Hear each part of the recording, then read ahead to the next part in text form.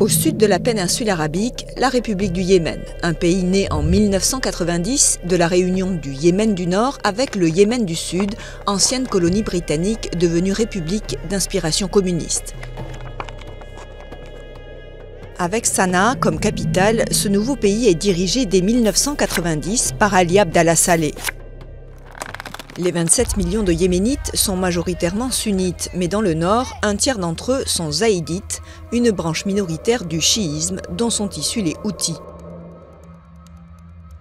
Dès 2004, Sanaa fait face au nord à une rébellion Houthi qui dénonce sa marginalisation, au sud le pouvoir est confronté à un mouvement séparatiste et d'autre part aux djihadistes d'Al-Qaïda. Dans le sillage des printemps arabes de 2011, des manifestations meurtrières à Sanaa poussent le président Saleh au départ après 33 ans de pouvoir. Abd Rabo Mansouradi est élu en 2012 mais peine à stabiliser le pays. En 2014, la rébellion Houthi, soutenue par l'Iran, prend le contrôle de Sanaa, puis lance une offensive vers Aden. Le président Hadi s'exile chez son allié, le roi d'Arabie saoudite. En mars 2015, l'Arabie saoudite prend la tête d'une coalition de pays arabes sunnites dont le but est d'endiguer l'avancée des rebelles soutenus par l'ancien président Saleh. Fin 2017, les rebelles rompent leur alliance avec Saleh et le tuent.